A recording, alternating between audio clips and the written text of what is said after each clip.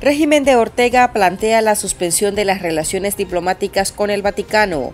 Analista política informa que el dictador demuestra que cada vez está más solo. Mientras tanto, obispo teme por la seguridad de Monseñor Álvarez. Además, lanzan alerta roja por una nueva masacre contra comunidades indígenas. Organizaciones de derechos humanos responsabilizan al Estado de Nicaragua por el ataque calificado de un genocidio. Bienvenidos al podcast ahora de Artículo 66. Les saluda Marlin Balmaceda. Y es Liz Chica. Iniciamos de inmediato con las principales noticias de este lunes 13 de marzo de 2023.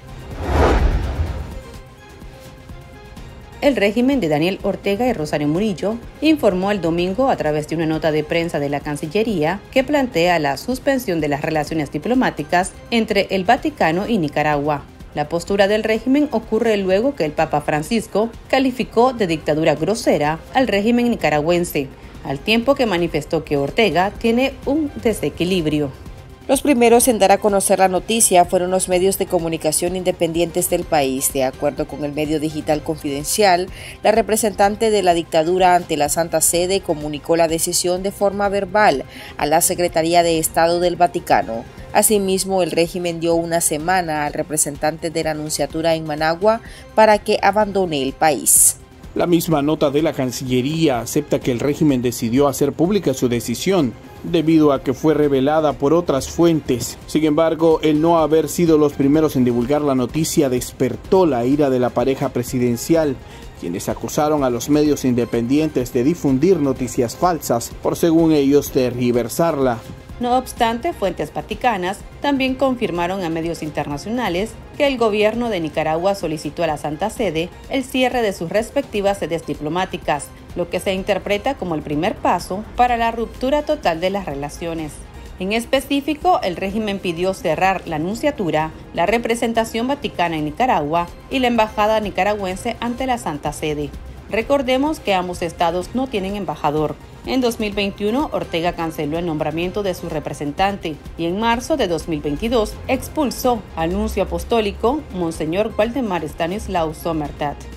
El domingo pasado, Monseñor Silvio Báez, obispo auxiliar de Managua, pidió ofrecer la misa en acción de gracias por los 10 años de pontificado del Papa Francisco, que se cumplen este lunes. Desde la iglesia Santa Ágata en Miami, Estados Unidos, agradeció al Papa Francisco por su respaldo al pueblo nicaragüense y a Monseñor Rolando Álvarez, reo de conciencia en Nicaragua, aunque manifestó que se encuentra muy preocupado por la situación del obispo de Matagalpa, sobre todo por los últimos acontecimientos acontecimientos. No sabemos dónde estamos, señor Rolando, y no sabemos en qué situación está. Yo he pedido en las redes a la iglesia del mundo entero que alce su voz en oración y en denuncia por Rolando. Les confieso que estoy muy preocupado por mi hermano. Y lo digo en público, sobre todo por los últimos acontecimientos que han ocurrido.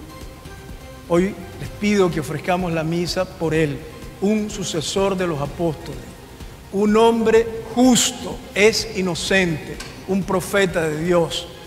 Merece estar en medio de su pueblo y su pueblo merece tener a su pastor.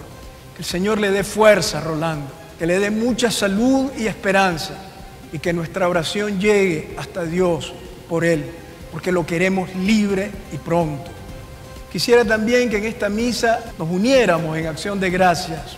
Se cumplen 13 años de pontificado del Papa Francisco, el sucesor de Pedro, nuestro pastor en la Iglesia Universal, el Papa de la Misericordia, que ha querido llevar aires nuevos a la Iglesia, incomprendido y atacado como lo fue Jesús, pero creo que los católicos debemos dar infinitas gracias a Dios por el Papa Francisco. Es un regalo del Señor a la iglesia y a la humanidad.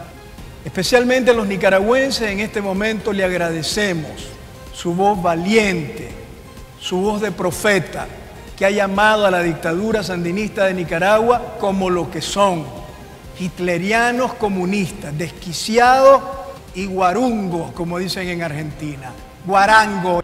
Un aplauso al Papa Francisco. Las fricciones entre la Iglesia Católica y la dictadura de Nicaragua reflejan que Ortega está cada vez más solo y desprestigiado, nos manifestó el ex embajador nicaragüense Arthur Macfield. Ortega y Murillo se lanzan al abismo. Nicaragua es la primer dictadura de las Américas que rompe relaciones con el Vaticano en el presente siglo. Ni Venezuela o Cuba, que es la madre de las dictaduras con 64 años en el poder, habían cometido un suicidio diplomático de esta envergadura. Creo que esto demuestra de que ya no hay ningún diálogo con el Vaticano, a como se había dicho al inicio. El Papa Francisco había dicho en diciembre que estaba utilizando las armas del diálogo y la diplomacia. Pero Ortega ni sabe de diálogo y mucho menos de diplomacia. Entonces, al emitir unas declaraciones de la magnitud que tuvo el viernes pasado su santidad, quedó claro pues que ya no existe ese eh, intento de diálogo con, con, la dictadura guaranga de Nicaragua, sino que eh, se ha llegado a profundizar un poco más la situación de persecución religiosa que existe en Nicaragua.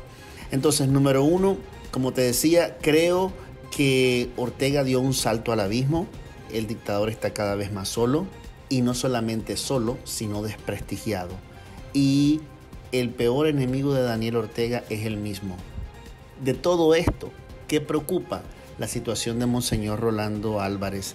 Preocupa porque al no haber una sede diplomática que esté funcionando en Managua, sea que haya sido antes un poco más tímida o de perfil bajo, pero había algo al no haber una relación diplomática, Monseñor Rolando Álvarez, su integridad física se vuelve un tema eh, de gran preocupación, un tema que valdría la pena que fuera atendido con carácter de urgencia por Naciones Unidas, por Cruz Roja Internacional, por la Comisión Interamericana de Derechos Humanos y por las sedes diplomáticas que están en Managua. Se necesita apoyo para Monseñor Rolando Álvarez, hoy más que nunca. Hoy más que nunca se necesita que la comunidad internacional alce su voz en respaldo a Monseñor Rolando Álvarez. Organizaciones defensoras de los derechos de los pueblos indígenas lanzaron una alerta roja ante un nuevo ataque de colonos en el territorio Mayagna Sauni As, en la reserva de la biosfera de Bozaguas, en la región autónoma de la costa caribe norte de Nicaragua. De acuerdo a la información, los invasores protagonizaron una nueva masacre, en esta ocasión en la comunidad indígena Huilú. Al menos siete personas fueron asesinadas, entre ellas dos mujeres, mientras un habitante se encuentra en estado grave. Las organizaciones también reportaron que las viviendas de la comunidad fueron incendiadas, dejando en pie solamente la iglesia, la casa pastoral y la escuela. Además, previamente los colonos secuestraron a cinco comunitarios, incluidos dos niños, cuando estos viajaban hacia otra comunidad por una misión pastoral. La situación ha causado alarma el gobierno territorial Mayagna Sauni As calificó este reciente ataque de genocidio por ser sistemático y de forma selectiva. Indican que las familias han quedado desprotegidas, sin alimentación y sin vestimenta.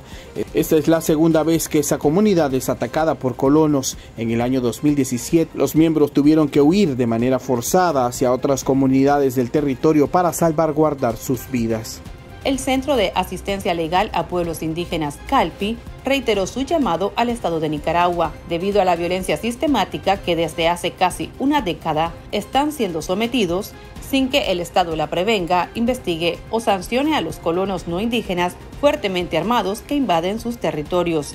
El Centro de Asistencia Legal Interamericano en Derechos Humanos CALIT también emitió un comunicado en el que responsabiliza al régimen por esta situación.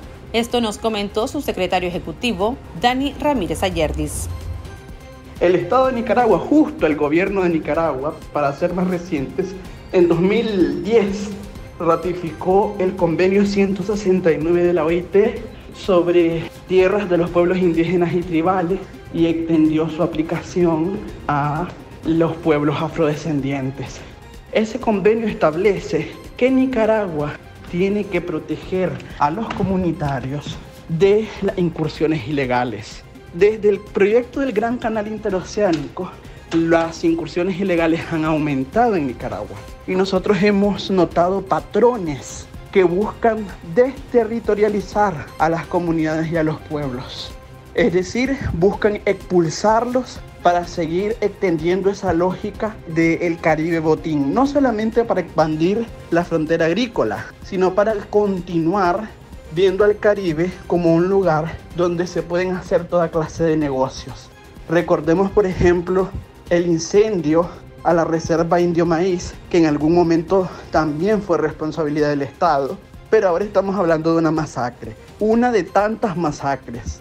Entonces, si bien los colonos actúan bajo órdenes de grupos determinados, nosotros responsabilizamos al Estado de Nicaragua porque no ha hecho nada contundente para evitar que esas incursiones sucedan. Además, tenemos información de sobra que nos permite concluir que el Estado es también tolerante y connivente con esas incursiones.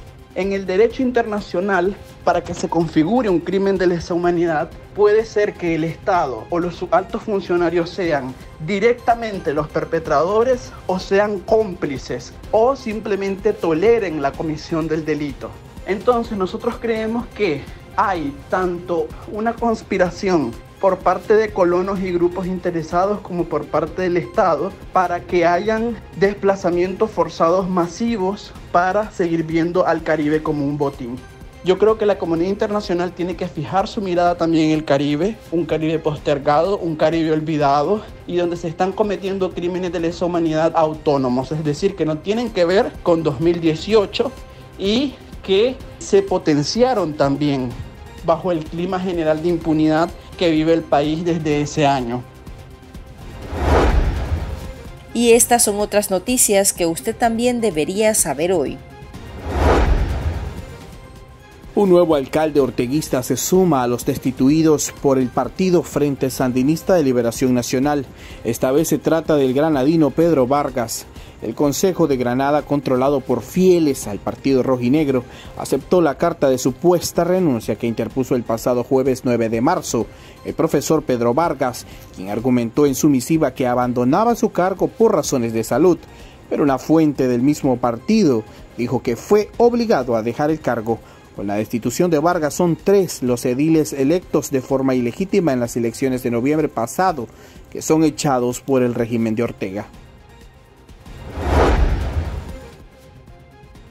El Centro Nicaragüense de Derechos Humanos, CENIT, alertó que la vida del obispo de la diócesis de Matagalpa, Monseñor Rolando Álvarez, está en riesgo debido a la falta de comunicación que existe de parte del régimen de Ortega en cuanto a la situación en la que se encuentra el jerarca católico. El obispo acumula más de 200 días como rehén de conciencia de la dictadura, a inicios de febrero, el régimen intentó desterrarlo de Nicaragua, enviándolo en un avión a Estados Unidos, pero el prelado habría arruinado el plan de la pareja dictatorial.